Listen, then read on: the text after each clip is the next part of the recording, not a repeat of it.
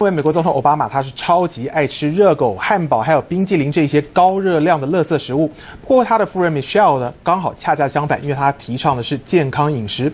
现在奥巴马一家人他们在夏威夷度假，但是这个奥巴马被记者是活逮到偷吃薯条，而且还要求呢不要告诉他的老婆大人。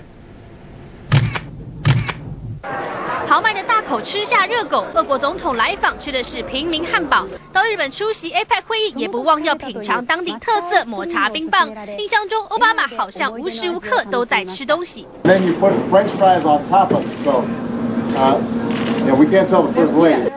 而且吃的还都是热量超高的垃圾食品，跟蜜雪儿提倡的蔬果健康饮食格格不入。难怪吃薯条还得瞒着老婆大人。上次奥巴马到夏威夷度假时，带着女儿去买刨冰，还迫不及待在店门口当场吃了起来。现在奥巴马一家人再赴夏威夷度假，记者也没闲着。You are working, just to be clear, right?